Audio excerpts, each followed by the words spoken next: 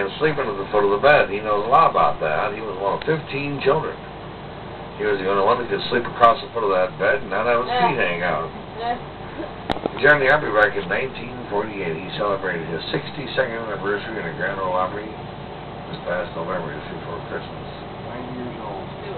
Just turned 90 years old in December as well. and He still mows his own yard. He's got a yardman doing all the rest of the work, but he's got a riding lawnmower and he loves to ride it. And he just hits the high spots one day and we go out another day and hit some more high spots.